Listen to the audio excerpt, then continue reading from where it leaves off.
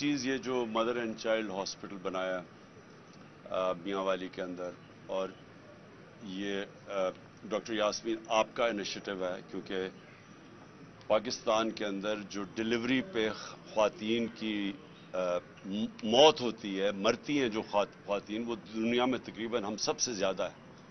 तो ये और उसकी सबसे बड़ी वजह यह है कि हमारे पास बड़े शहरों के बाहर फैसिलिटीज़ ही नहीं है। मदर एंड चाइल्ड ये हॉस्पिटल जिस तरह ये बना है।